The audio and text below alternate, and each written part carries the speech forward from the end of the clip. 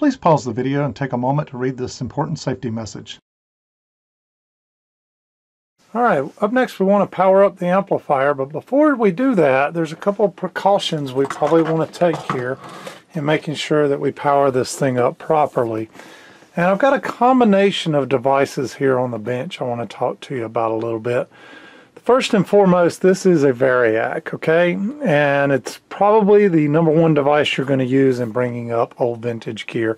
And what this does, regardless of the brand, make, model, or whatnot, this thing will start out down here around zero volts, and as you crank it up, it will bring the unit up to, and I've got a little black mark right here for 110, 112 volts or so. Um, one thing to be aware of with a Variac though, you can actually go higher than the wall voltage and you may go, hmm, how do you actually get higher than you're getting out of the wall voltage into your piece of gear? Well, this unit acts like an auto transformer and what it can do is actually just like any other transformer, it can take the, the voltage on the secondary higher than on the primary. Um, so be careful when you're bringing a unit up. And we'll talk more about how to bring a unit up here in a minute. Another piece of very common gear you see when people working on tube, tube equipment or even solid state equipment is a isolation transformer. Now this one's pretty interesting in that it'll let you go um, low, nominal, or high. In other words, if you plugged in right here, you would get your normal 110 volts out. High might take you to 120 volts, and low may take you down to uh, uh, 100 volts or so. And it'll tell you here on the side what it actually does. And then this little setting here is to set what you want the uh, the uh, input voltage to be. So I've got it set on 120 for today's time. This one's made by RCA and you can pick these up usually about 30 or 40 bucks. Plug one end into the wall and then the other end into your equipment. But what it does is it completely isolates um, the power that you're feeding into your amplifier from the grounding of the electrical grid of your house. And for some older tube gear that may have floating chassis and or hot chassis um, it's a good idea to have one of these. If you don't it's okay um, but if you're going to get into working on a lot of gear you might want one of these. I actually have one of these mounted or sitting underneath my bench that's constantly in between the wall and uh, my Variac unit. So that's an optional piece but definitely a Variac you're going to need. This is another unit. This is a dim bulb um, tester, and what you do is you plug in the radio you want to test into one end, plug the other end into your wall and then what would go right here and it'll tell you is a lamp uh, they, make a little socket and you put a light bulb into it. And uh, it'll tell you for 50 watts use a half amp for one one watt use a 100 watt bulb so on and so forth. And what it does is it puts this light bulb in series with the one of the legs of your power. So if for whatever reason there happens to be a short in your radio here what it'll do is the light bulb will actually light up and start drawing current um, instead of taking all the current to your device. And um, it's a good safety measure if you happen to um, if you're going to be doing a lot of work on bench on gear you might want to get a uh, dim bulb tester set up. Uh, it could save your life because that light bulb lighting up um, you know could be uh, taking the current that maybe is going across your body if you got into the got into a tube unit and touched something you shouldn't have. Light bulb would light up instead of your heart lighting up um, is what these are for. Um, but there again, it, it's optional. I just highly recommend it. Um, and then the last one that I think is somewhat not optional, but it could be, um, is a little, I use a little device here called Kill A Watt. These things are about $15, $17. And all it does is you plug one end into the outlet here that you're going to be measuring. You plug your device into this, and then it gives you a readout of the voltage. So as you're turning this up, uh, 10, 20, 30, 40, 50, you would actually read here 10, 20, 30, 40, 50. It would tick up. You can also hit another button here, amp, and you could read the current um, as this is ticking up. Let me pause for a minute and show you these online. All right, here we are on Amazon. You can see the one I'm using here. It's $17.29 shipped.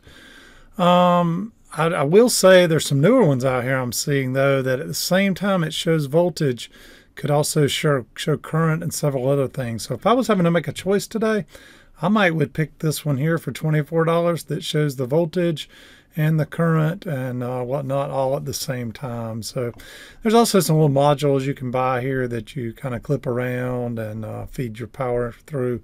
Um, they could do some of the same thing. Um, a lot of different ways to kind of skin this proverbial cat, but um, uh, like I say, I've just had this since they first came out, probably seven or eight to ten years ago, and I'm still using them today. Okay, sorry for going a little bit shaky cam here, but I wanted to show you this. This is the Variac I use on my bench, and it's it's not all that complicated. It's really just a Variac built in over here on the left, and I can turn it left and right. I can decide whether to limit the current or not. In other words, uh, just feed straight off the Variac or go through a dim bulb setup over here, okay? Got a power switch, then I've just got a voltmeter that goes from 0 to 150 volts here. So as I turn the unit on, you can see here as I adjust it, um, I can tell what voltage I'm at. And then I can also read the current off. Uh, goes here from uh, 0 to 5 amps. So I can tell if something is shorted because instead of it going up to maybe 100 milliamps, 200, um, or maybe 1 amp or so, it'll start pegging way over here and all of a sudden I know it's shorted. But what the other thing that's really cool about this setup, and you can see it down inside here, there's actually two light bulbs built inside of this unit and I can swap in or out bulb number one or bulb number two by using these jumpers um, and it lets me determine how much of a current uh, kind of limit I can do there by using the two bulbs in series or just one of those. But um, that's this is how what I use to bring things up on the bench all the time and that's what we're going to use today to bring this thing up. What I've got plugged into the back of this believe it or not um, over here is nothing more than a power strip and this, this cord just feeds all the way from here around into the back of the Variac. And then feeding into this power strip, I have my little um, Kill A Watt here. And this is where I plug my piece of equipment here on the bench I'm going to be testing into. Um, and so I can actually read the voltage. And as I turn that over there, you can see right now maybe it says 63.5 volts is what we're at right now. So that's how I leave my setup all the time. If you don't have that and you just have a standalone unit, you could always plug the Kill A Watt straight into it or plug a power strip into it and then the Kill A Watt into the power strip and then come out of that into the piece of gear equipment you're doing and use this to kind of turn it up. Some some of these units are really nice and have built-in um, um, current and uh, voltage meters built into the Variac and you don't need all the extra stuff I'm talking about. Alright, this is going to be a little bit hard to see to get both of these in the video, but what I'm going to do is keep an eye on this unit here. As I bring it up, I'm looking for any signs of smoke or flashes of light, anything that might indicate um, there's a problem inside the amplifier. And the same time up here, I'm going to reach up. And usually what I'll start doing is I'll bring a unit up to about 25, 30 volts, and I'll let it sit there uh, because often, often at that voltage with a piece of tube gear, you don't have enough voltage yet to light the filaments of the tubes, which means the tubes aren't conducting, which means the rectifier here um, is not conducting and actually uh, providing DC to the circuits at that low voltage. So um, typically it's up around 50 to 60 volts when you'll start getting enough voltage inside of your unit here um, to actually um, kind of light things up and get things going. Um, at this point, I'm up at 57.3 volts. Um, see if I can see any filaments glowing. I'm starting to look for filaments glowing in the tubes here. All right.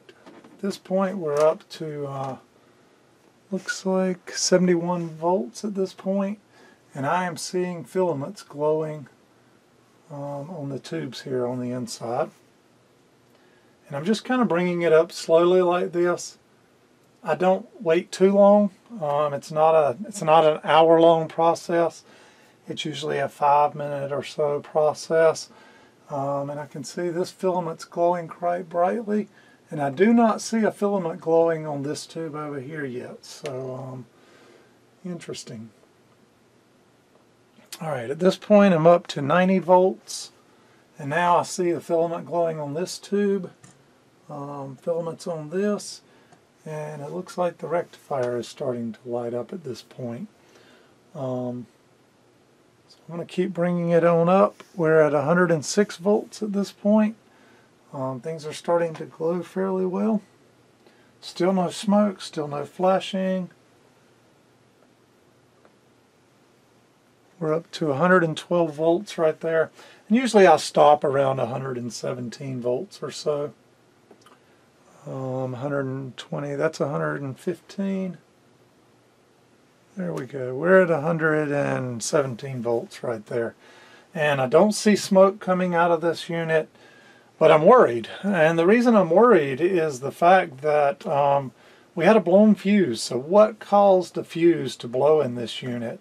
Um, so oftentimes if I make it this far, and one thing I do, I, I make sure I never have an input fed into an amplifier unless I have a load on it for an output, okay? Because um, if you're feeding an input with no output load, you have a possibility of uh, causing some damage. But with no input and no output, we're watching it at this point. And what I would probably do at this point, now that we're up to 120 volts here, is I would let this sit for a little while. Um, knowing that it blew a fuse before, it could be something that when it heats up, or maybe one of these capacitors, um, as they get kind of warm, uh, maybe it has a high ESR, equivalent series resistance, and over time the uh, capacitor gets warm inside and maybe starts failing and thus causing the short that might have taken the, uh, the fuse out. So I would leave it sitting like this, but at this point things seem to be functioning okay. I'm gonna, I'm gonna now put a load onto it. Okay, at this point you can see I've got a load here and this is just feeding up into my dummy load uh, switch box up above um, where I can either go speaker or dummy load. Um, you guys have probably seen that many times, but I'll just be able to flip the flip the channel here from uh, dummy load to speaker, and then I've got outputs tied off of that I can feed into lots of different pieces of test equipment. You can also see the other cord that I have feeding out of it here um, just feeds up, and I'm feeding it into a B&K um, signal generator up here and I'm going to put the amplitude down pretty low and I'm going to turn it on. Oh boy, we've got this. Um, let's go way down there and let's put it on a 1 kilohertz signal. Need to clean the potentiometer on this thing, it appears. Alright, we're at a uh, 1.02 kilohertz signal. And I'm just going to feed it up and turn it up a little bit and see if we're getting any signal out of this unit. And at this point, I'm not hearing anything, so, um, hmm. Well, guess what? We brought it up on a Variac, and it's still not working. Um, so, that's a good point to call this a wraps. and um, our video on how to bring a unit up on a Variac is complete at this point. And now I'm going to uh, jump into another troubleshooting video on how to figure out why this amplifier is just not working at this point. So thanks for watching everybody. I hope you learned how to bring something up on a Variac slowly. If at any point you would have seen smoke, um, you would have seen sparks, um, these filaments wouldn't have lit up, you would have backed back off and uh, done some more uh, troubleshooting on the inside to figure out what's going on. But um, fortunately, we were able to get it up to full operating voltage without it cutting out, but unfortunately, still not working. So we got to continue this journey here. Thanks for watching, everybody.